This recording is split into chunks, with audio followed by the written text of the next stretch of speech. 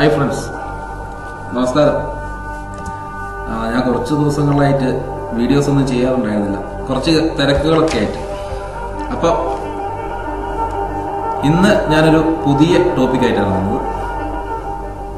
അതായത് star delta starter അപ്പോൾ അതിന്റെ ബേസിക് കാര്യങ്ങളാണ് ഞാൻ പറയുന്നുള്ളൂ അപ്പം ഒരുപാട് ആദ്യ കാര്യങ്ങളായിട്ട് സംസാരിച്ചതിനെ ഞാൻ കുഴപ്പിക്കുന്നില്ല അതായത് ജസ്റ്റ് ബേസിക്സ് എന്താണെന്ന് മനസ്സിലാക്കുന്നത് മാത്രമുള്ള ഒരു ഉദ്ദേശത്തോടെ. ഓക്കെ അപ്പൊ നിങ്ങൾ ഇതുവരെ ഈ ചാനൽ സബ്സ്ക്രൈബ് ചെയ്തില്ലെങ്കിൽ പ്ലീസ് സബ്സ്ക്രൈബ് ഓക്കെ അപ്പൊ നമുക്ക് ടോപ്പിക്കിലേക്ക് കിടക്കാം അല്ലെ?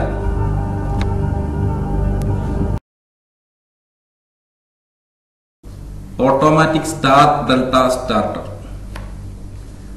അത് നമ്മൾ മെയിനായിട്ട് യൂസ് ചെയ്യുന്നത് വെച്ചാൽ നമ്മുടെ മോട്ടറിന്റെ പ്രൊട്ടക്ഷന് വേണ്ടിയാണ് പറഞ്ഞാൽ പ്രൊട്ടക്ഷൻ എന്ന് വെച്ചാൽ അപ്പൊ അതിന്റെ അകത്ത് ഉണ്ടാവുന്ന പ്രശ്നങ്ങളൊക്കെ എന്താന്നുള്ളത് ഞാൻ കുറച്ച് കഴിയുമ്പോൾ പറയാം.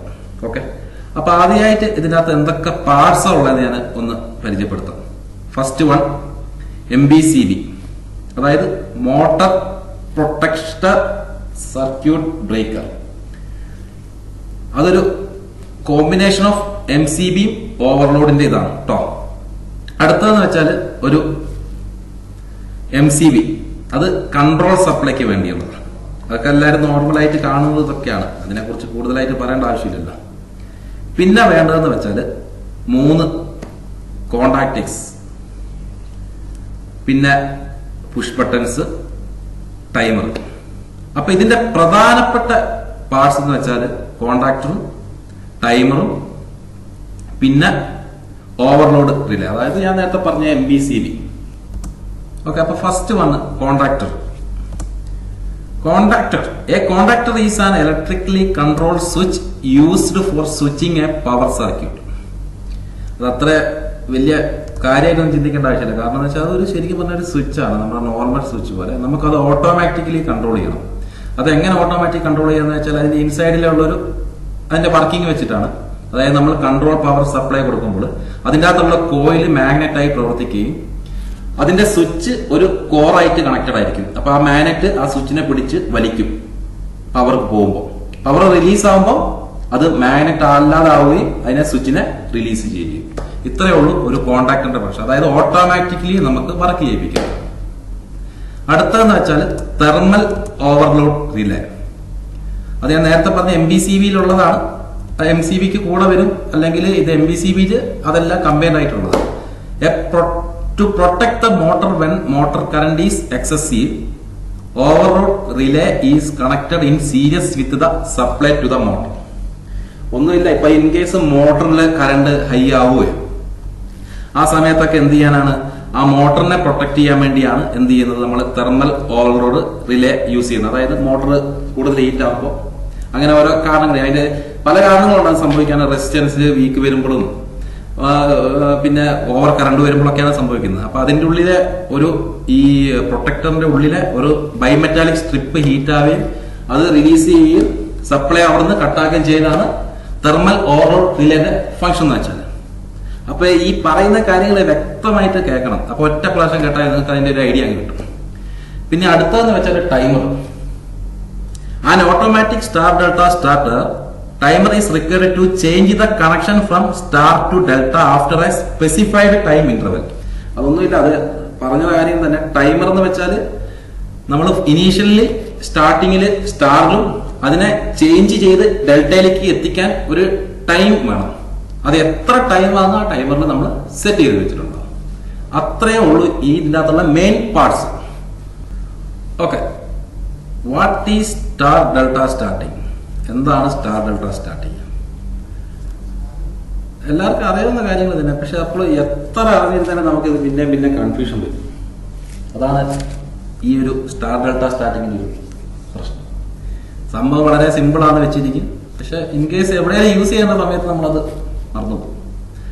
അപ്പം എന്താണ് സ്റ്റാർ ഡെൽറ്റ സ്റ്റാർട്ടിംഗ് എന്ന് വെച്ചാൽ the motor is connected in star during the starting the motor is accelerated close to the seventy five percentage of the rated speed the motor connection will be changed to delta okay അപ്പം നമ്മുടെ star delta എന്താന്ന് വെച്ചാൽ നമ്മൾ ഒരു motor start ചെയ്യുന്നത് ഡെൽറ്റയിലാണെന്ന് നോക്കുക ഡെൽറ്റയിൽ സ്റ്റാർട്ട് ചെയ്തത് ഹൈ കറണ്ട് പോയി അത് മോട്ടറിന്റെ വൈൻഡിങ്ങിന് വരെ ഡാമേജ് ആവും മോട്ടർ വരെ അടിച്ചു വരെ. പോകും നമ്മുടെ ഭാഷയിൽ പറഞ്ഞാൽ അടിച്ചു പോകുന്നത് തന്നെ പറയാം. അപ്പൊ നേരെ മറിച്ച് അത് സ്റ്റാറിൽ സ്റ്റാർട്ട് ചെയ്യുകയാണെങ്കിൽ compare to delta initial starting current എന്ന് വെച്ചാൽ ലെസ് ആയിരിക്കും. അപ്പൊ അതൊരു മോട്ടോർ പ്രൊട്ടക്ഷന് വേണ്ടിയാണ് സാധാരണ എന്ത് ചെയ്യുന്നത്? നമ്മൾ സ്റ്റാർ ഡെൽറ്റ സ്റ്റാർട്ടർ ഉപയോഗിക്കുന്നത്. അപ്പൊ ഈ ഫിഗറിൽ തന്നെ നോക്കാം നമുക്ക്. അപ്പൊ അത് എങ്ങനെയാണ് അത് കണക്ട് ചെയ്യുന്നത്? സ്റ്റാറും ഡെൽറ്റയും അപ്പം ഈ ഫിഗറിൽ എന്ന് വെച്ചാൽ കണ്ടോ U one V one W one അത് നമ്മൾ ലൈൻ കൊടുക്കുന്ന നമ്മൾ ചെക്ക് ചെയ്യുക. U one V one W one അവിടെ നമ്മൾ ലൈൻ സപ്ലൈ അപ്ലൈ ചെയ്യുന്നത് എത്ര? ഫോർ ഹൺഡ്രഡ് വോൾട്ട് അതിന്റെ ലാസ്റ്റ് എൻഡ് അതായത് U two V two W two അതിന്റെ ആ സൈഡ് നമ്മൾ എന്ത് ചെയ്യും? ഷോർട്ട് ചെയ്യും. അതായത് ഈ മൂന്ന് phase one phase two phase three എന്ന് കാണിച്ചിരിക്കുന്നത് വെച്ചാൽ മോട്ടറിന്റെ വൈൻഡിങ്സ് ആണ്. ആ മോട്ടറിന്റെ രണ്ട് എൻഡുകളാണ് എന്ത്? യു വണ്ണും യു ടു വി വണ്ണും വി ടു ഡബ്ല്യു വണ്ണും ഡബ്ല്യു ടു അപ്പൊ അതിന്റെ ഒരു സൈഡ് നമ്മൾ ഷോർട്ട് ചെയ്ത് വെക്കുകയും മറു സൈഡിൽ നമ്മൾ എന്ത് ചെയ്യും? ലൈൻ വോൾട്ടേജ് കൊടുക്കുകയും ചെയ്യും. അപ്പം ഈ ഒരു ഫേസിൽ നമുക്ക് കിട്ടുന്ന വോൾട്ടേജ് എന്ന് വെച്ചാൽ ടു തേർട്ടി വോൾട്ട് ആയിരിക്കും. ഓക്കെ അതാണ് സ്റ്റാർ കണക്ഷൻ ഓക്കെ അപ്പൊ നമുക്ക് അടുത്ത ഡെൽറ്റ കണക്ഷൻ നോക്കാം. അപ്പൊ അതിന്റെ അകത്ത് നോക്ക് മൂന്ന് വൈൻഡിങ്സ് അതായത് phase one phase two phase three അപ്പൊ നേരത്തെ സെയിം തന്നെ. U one U two V two V one W one V two sorry W two അപ്പോൾ സ്റ്റാറിനെ കമ്പയർ ചെയ്യുമ്പം ഈ ഫിഗറിൽ തന്നെ നിങ്ങൾക്ക് മനസ്സിലാവും. നമ്മൾ അവിടെ ഒരു എൻഡിൽ മാത്രം എന്ത് ചെയ്യും? ലൈൻ വോൾട്ടേജ് ഫോർ ഹൺഡ്രഡ് കൊടുക്കും. മറ്റേ എൻഡ് ഷോർട്ടഡ് ആയിരിക്കും. ഓക്കെ പക്ഷെ ഇൻ കേസ് നമ്മൾ ഡെൽറ്റയിലേക്ക് വരുമ്പോൾ എന്താ സംഭവിക്കുന്നത്? അതിന്റെ രണ്ട് എൻഡിൽ രണ്ട് ഡിഫറെന്റ് ലൈൻസ് കൊടുക്കുന്നത്. അതായത് ആർ വൈ ബി ഉണ്ടെങ്കിൽ ആറ് കൊടുക്കും വൈയും കൊടുക്കും. അതാണ് ഇവിടെ ഈ ഫിഗർ നോക്കിയാൽ മതി. ഒരെൻഡിൽ ലൈൻ വണ്ണും ഒരെൻഡിൽ ലൈൻ ത്രീ അപ്പം അതിന് വരുന്ന വോൾട്ടേജ് അക്രോസ് എന്ന് വെച്ചാൽ എത്രയായിരിക്കും? ഫോർ ഹൺഡ്രഡ് വോൾട്ട് ആയിരിക്കും. അതുപോലെ തന്നെയാണ് ഫേസ് ടുവിനും ഫേസ് ത്രീയിലും അപ്പൊ അത് കൂടുതൽ പറയേണ്ട ആവശ്യമില്ല. ആ ഫിഗറിൽ തന്നെ നമുക്ക് നോക്കാൻ മനസ്സിലാവും. ഓക്കെ അപ്പൊ ഞാൻ നേരത്തെ പറഞ്ഞതൊന്ന് കുറച്ച് എക്സ്പ്ലനേഷൻ കൂടെ ഞാൻ തരാം. why star delta starting is used.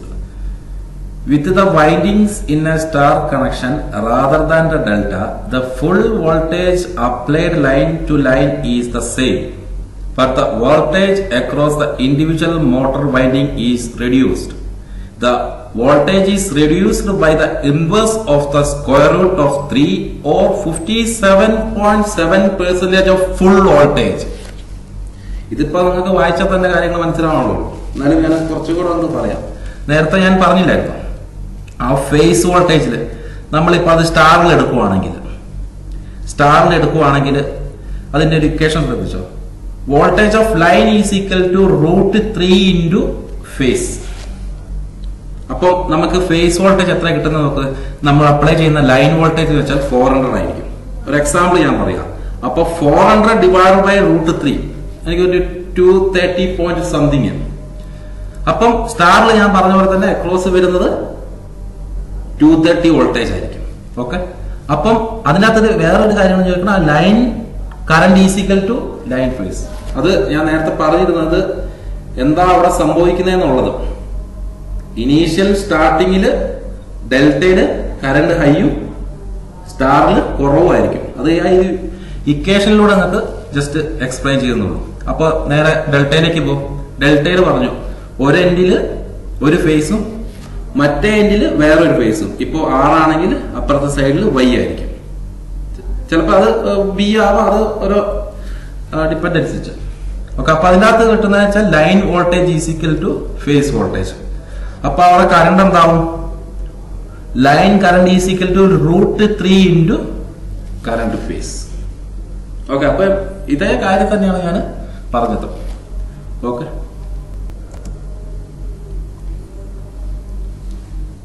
അപ്പോൾ ഇനി നമുക്ക് അടുത്ത് എന്ത് ചെയ്യാം? സ്റ്റാർ ഡെൽറ്റ സ്റ്റാറിന്റെ പവർ വയറിംഗ് എന്താണെന്ന് നോക്കാം. അപ്പോൾ രണ്ട് ടൈപ്പുള്ള വയറിംഗ്സ് ആണ് എന്തിനകത്തുള്ളത് സ്റ്റാർ ഡെൽറ്റ സ്റ്റാർട്ടിന്റെ അകത്തുള്ളത്. ഒന്ന് പവർ വയറിംഗും പിന്നെ ഒന്ന് കൺട്രോൾ വയറിംഗ് അപ്പൊ ഇതിനകത്ത് നോക്കുമ്പോൾ ഒന്നുകൂടെ എക്സ്പ്ലെയിൻ ചെയ്യാം.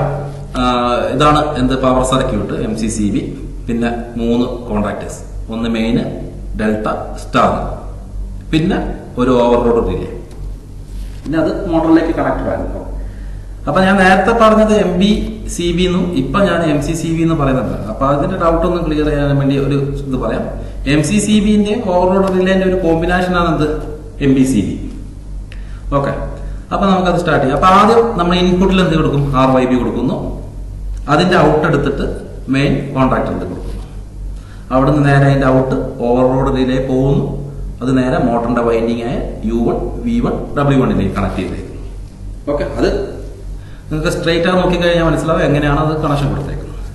ഇനി അടുത്ത കണക്ഷന്റെ അകത്ത് നമ്മൾ ആ M V M C C ബിന്റെ out എടുത്തിട്ട് ഡെൽറ്റ കോണ്ടാക്ടറിന്റെ ഇൻപുട്ടിൽ കൊടുക്കും അപ്പൊ അവിടെ പവർ സപ്ലൈ കിട്ടുന്നു. അതിന്റെ ഔട്ട് എടുത്തിട്ട് നേരെ എന്ത് ചെയ്യുന്നു? മോട്ടറിന്റെ V two U two W ടുയിലേക്ക് connect ചെയ്യുന്നു.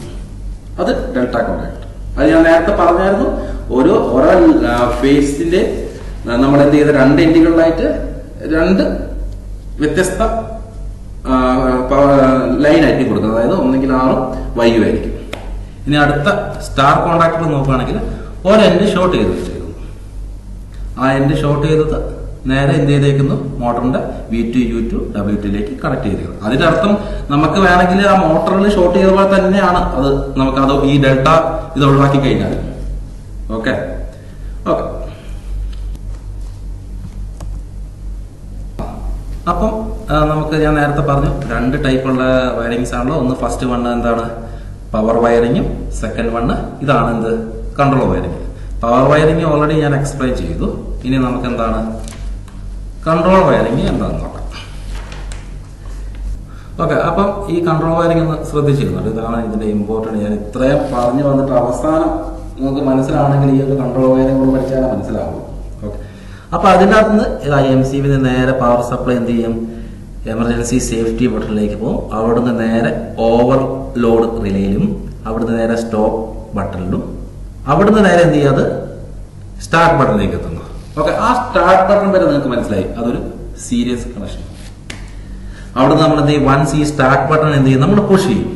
അപ്പൊ ഈ സ്വിച്ച് എന്താവും? ഇതുമായിട്ട് ടച്ച് ആവും. അപ്പൊ പിന്നെ അവിടുന്ന് സപ്ലൈ പോയിട്ട് നേരെ അത് ടൈമറിലെത്തും ആ സമയം എന്താവും? ഈ ഇവിടുത്തെ ഓക്സിലറി കോൺട്രാക്ട് എല്ലാം ആക്റ്റീവ് ആവും. സ്റ്റാറിന്റെ ആവും മെയിന്റെ ആവും. ഈ മെയിൻ വൺസ് ആക്റ്റീവ് ആയി കഴിയുമ്പോൾ എന്താവും? ഇവിടുത്തെ ഓക്സിലറി കോൺട്രാക്ട് ആക്റ്റീവ് ആവും. അപ്പൊ എന്തായി? നമുക്ക് പിന്നീട് ഈ പുഷ് ബട്ടന്റെ ആവശ്യമില്ല. ഇവിടുന്ന് ഇങ്ങനെ പവർ സപ്ലൈ പോയി? ഇവിടുന്ന് ഇങ്ങനെ പോയി. ഇവിടുന്ന് ഇങ്ങനെ വന്ന് ഇതാ ഇങ്ങനെ വന്ന് ഇവിടെ എത്തും. ഓക്കെ അപ്പം ഇനീഷ്യലി നമ്മൾ ആ സ്റ്റാർട്ട് ചെയ്യുന്ന സമയത്ത് ഇവിടെ നമ്മുടെ സ്റ്റാറിൽ നമ്മുടെ മോട്ടർ സ്റ്റാർട്ട് ചെയ്ത് കഴിഞ്ഞു.